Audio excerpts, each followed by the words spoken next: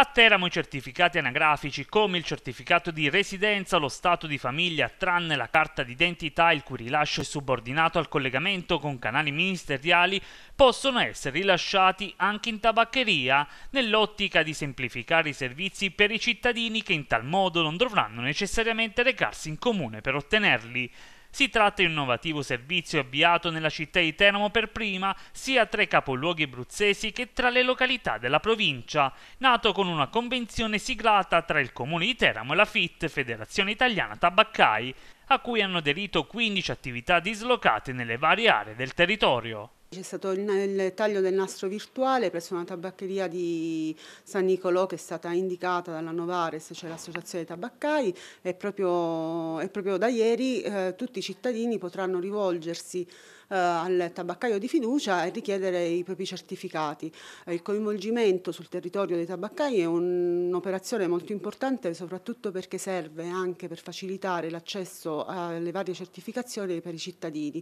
tant'è che eh, proprio da, da ieri eh, chiunque può oh, spostarsi pochissimo a casa, quindi evitare le code che si formano negli uffici e eh, ottenere il certificato di cui si ha bisogno. Attualmente sono 15 tabaccherie, naturalmente è un work in progress, nel senso che eh, è logico che nel futuro si presuppone che tantissime altre eh, aderiranno a questo progetto, che è un progetto unico in provincia e anche in Regione Abruzzo. Siamo il primo comune a partire con uh, il coinvolgimento dei tabaccai e credo che sia un'operazione veramente strepitosa proprio perché riusciamo a,